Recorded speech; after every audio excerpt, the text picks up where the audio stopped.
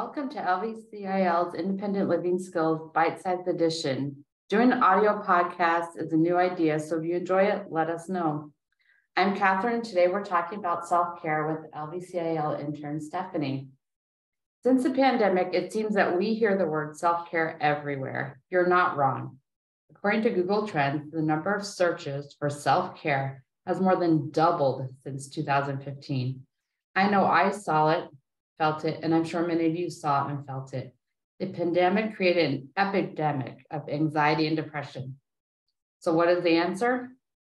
Please welcome Stefani to our inaugural episode. She's here to provide her expertise on the topic of self care and how to make it accessible to the wider population. Stefani is a human services program student at Lehigh Carbon Community College who happens to be wrapping up her internship with us today. Hi, Stefani. Thanks for joining us and congratulations on successfully finishing your internship. Hi, Catherine. Thanks for having me here today. So we mentioned that you're an intern. Much of your work was in our core and housing department. How was that experience for you? It was such a great experience. I thoroughly enjoyed my time here at LVCIL. I feel like I was really able to get um, a taste of what it's like to work in the field. I worked under the direction of Debbie Rosier, um, who has a wealth of knowledge in the area. And I was able to do intakes, assist individuals with filling out housing applications, co-lead peer support, and and some other things. Um, able to assist with other needs as well. And I feel like I really learned a lot, and I fully enjoyed my time here at LVCIL. I think anybody who's been at the still over the last 20 years knows Debbie and loves to work with her. So she's a great person. I'm glad you got to spend time with her. So, what attracted you to the human services field as a career?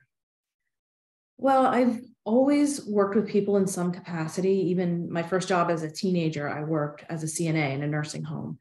And I just really enjoy helping others. Uh, when I returned to school later in life, I knew that working in the human services field would be rewarding, not just a paycheck. And I really enjoy seeing other people succeed in life, overcoming barriers that may be in their way. And being a part of that is it's important and also very rewarding work. So did you always want to be in human service field or did you have some other career path? No, actually, years ago, I wanted to be a nurse. And uh, physically, well, firstly, I, I was always taking care of my family and wasn't able to return to finish my college education but then as I've gotten older, you know, my physical abilities aren't at the point where, you know, nursing's very physically demanding and you would have to be on your feet eight to 12 hours a day at least. And I knew that was something that wouldn't be viable for me. Um, however, I always knew I wanted to work with people and working in the human services field, I feel like is a natural extension of who, who I am as a person and decided to pursue this line of work. So, what was your favorite part about your time at LVCIL?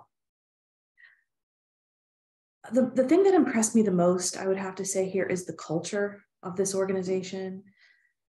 From day one, I just feel like I was greeted warmly. I felt supported, included, and this carries through also to the work that's done here as well. You know, I was just very proud to be a part of an organization that does such meaningful work with people with disabilities and does so in a way that like val- values and, and respects uh, each individual. Yeah, I agree with you. The culture here is great. We're almost like a family. Yeah. You know, you get to know each other in your department. And, you know, I know my supervisors know about my personal life and ask me about all the things going on. Absolutely. So, who has been your most important professional mentor? I would have to say Debbie Rosier again. She is she's the real deal. Um, she's incredibly knowledgeable about this field, but she also has this way of being that is both I don't know how to explain it, supportive and tough. She's she's very honest. And she doesn't always tell people what they want to hear, but she tells them what they need to hear in a kind and supportive way. And um, I just feel like I've learned so much her, from her. And I aspire to be as impactful and effective as she is in the future, hopefully, when I get to working in the field. I think we all want to be a little bit like Debbie. Yeah. So, any advice for someone who's looking to get into the human services field or who's currently in the Uh, field? trying to think. So, someone going into the field, I would say, don't do it for money because you're not going to make a lot of money in this field. But if you're looking to make a positive change in the world and you enjoy working with people, I would say go for it because this field is intrinsically rewarding. It's not just about a paycheck, it's the rewards that you get every day um, working with people. Someone who's currently in the field, I would say to make sure that you use your self care plan daily. Um, while this field is very rewarding, it can also be super draining. So make sure that you fill your own cup so that you can continue to help others fill their cup as well. That's great advice, I think, for anybody. Um, so you talked about self-care. So there are a lot of definitions thrown out at times, maybe self-created definitions or images Mhm. of self-care. So how would you define it in relation to the work that you do or have done? So self care is simply taking an active role in protecting your own well being and happiness. Um, we can take active steps on a daily basis to create a balance in our lives when we're feeling stressed out. Um, this is something that can help us build our resilience and guard us against, you know, the negative effects that that chronic stress can have on us. I love the idea of an active step. It's, you know, you have to be a participant and it doesn't just happen to you. Yeah, absolutely.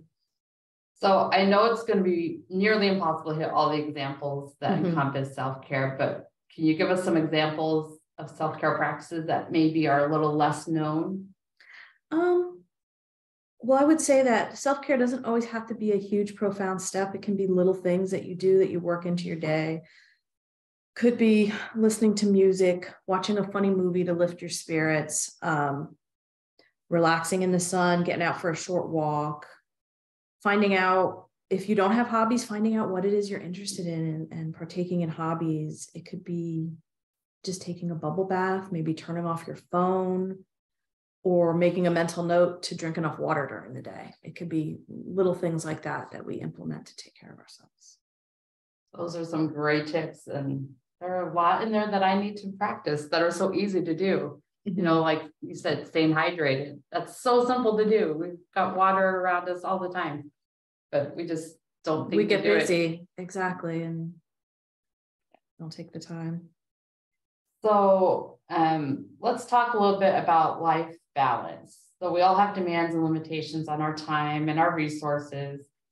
Um, and all those factors change from time to time, you know, if you're in school, you graduate and you start to have a family and kids and Mhm. other people that need you. So when you're thinking about life balance, what should be considered to maintain or to create that balance? I would say um,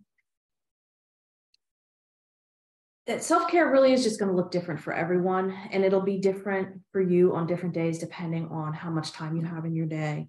Um, the most important thing I think would be to ask yourself, what am I needing at this moment? You know, if you're feeling stressed or overwhelmed, what area is it that I'm, that I'm lacking or I'm feeling like I need uh, a need to be met? And um, finding a self care action that works for you during that time, I think could be helpful. So taking the walk versus maybe going grabbing chocolate when, when I'm feeling a little stressed. Exactly. so self care, um, very simply, it meets a need, but it can't be destructive in the long run. So one of the things that's important is like if you're meeting a need with uh, say having a glass of alcohol or having you know a chocolate bar sure it works in the in the short term. It it is soothing. It can be comforting. But in the long run it can be self-destructive. So that doesn't really count as self-care. Good thing to remember. So um, the self-care wheel, now this is something I've seen. I'm sure people out there maybe have heard about it. But for those who have not seen it or heard about, it, can you briefly describe what makes up the wheel?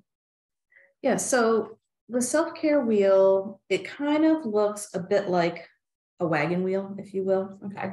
At the very center are the words uh, life balance. And that would be just the very hub, the very center of the wheel where it would attach to the wagon.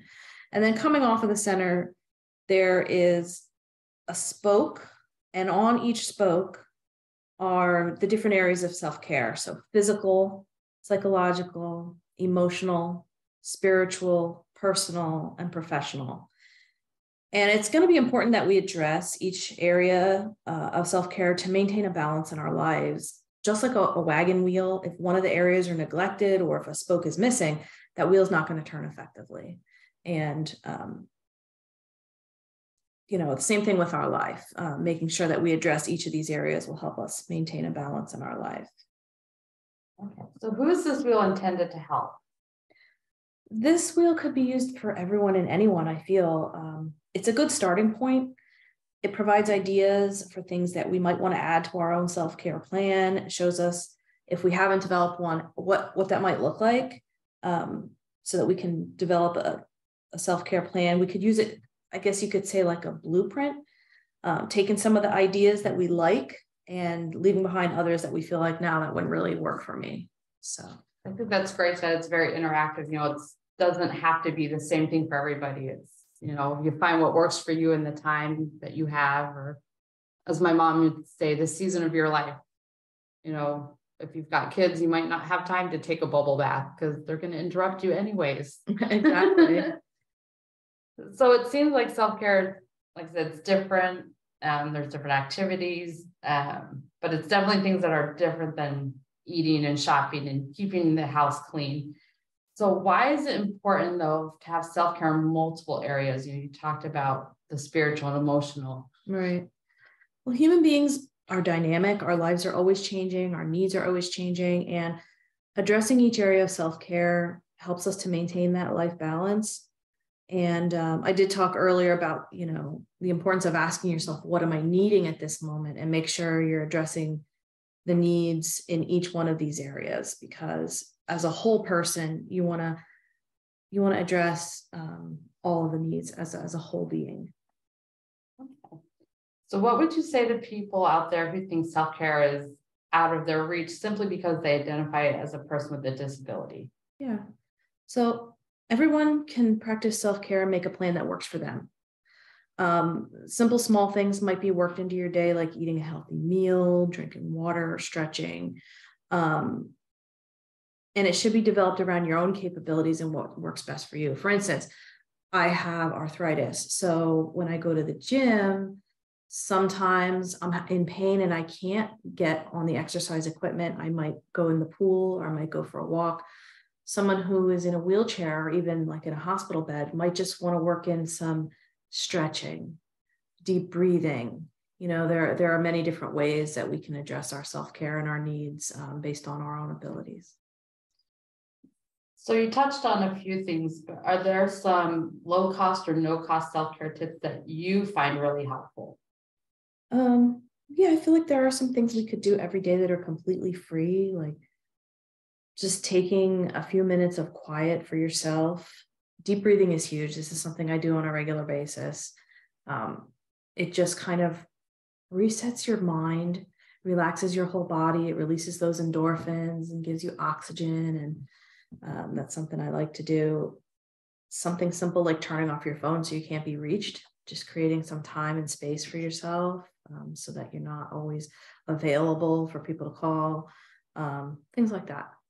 Yeah, turning off the phone, that is such a great one um, I end up doing it and I don't plan it, which I think is even better. Um, I know like Monday night, I accidentally left my phone at home. So okay. I went running errands and it was the best two hours of my life. That's awesome. Until I had that moment of like, did I lose my cell phone or did I leave it at home? And I was like, oh wait, I left it. We're fine. but I know too, you know, on my desk at work, I have a sticky note that reminds me to get up and go for a walk, and to just listen for five things that I hear and to just feel five things because I get so worked up in my anxiety sometimes mm-hmm. and you know the deadlines and all this work stress or personal stress because you can't just leave that at the door when you come in you know and I agree so definitely things you can do out there um I am guilty of this. Um, at times, I'm the type that says, I don't have time for self care because I need to do X, Y, Z for for this family member, or Um, I used to, I'm getting better at it. I used to say I get all my self-care from helping other people. Mhm. Um, so what would you say to somebody like me? Or what would you want them to know? I can completely relate to what you're saying because I'm the same way. But I would say that because you care for others, it's even more important for you to take care of yourself. People who are parents, um, those who care for others in their life, whether it's a parent or whether you're doing it for a profession, we're susceptible, excuse me, to compassion fatigue and burnout. Um, that can happen really easily. And when we only give, we can only give so much, is what I want to say, without filling up our own cup until we run out. And eventually, you know, we might continue managing and continue to function as exhausted as we are. But um, we really can't give our best to selves when we're best of ourselves to others if we're chronically stressed and fatigued. I feel like we need to make ourselves a priority so that we can be the most effective parent, the most effective friend and, and helper. Yeah. You know, and I think you touched on something really important. We saw that at the beginning of the pandemic, a lot of that talk about compassion fatigue and just fatigue in general for people that are serving other people that, you know, they were just burned out from the constantly being on the clock, taking care of everybody, not having Yeah. time for themselves. Um, Absolutely. so anyone who's turned on the news has seen the headlines or they've heard the stories um, about what's called the potential tripledemic.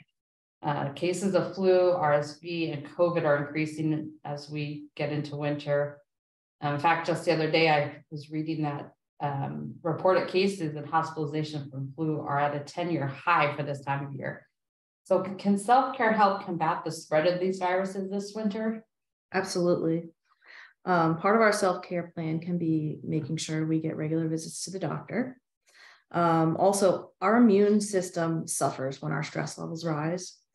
And things like getting enough sleep, staying hydrated, um, eating well, and reducing stress, whether through meditation, deep breathing, all those things help to boost our immune system and protect us from getting sick. Oh, that's great to know. Definitely need to schedule my doctor appointments, get that wellness checkup, make sure I'm on the path, being healthy. So, what are three sources that you would recommend to our audience and why? Um,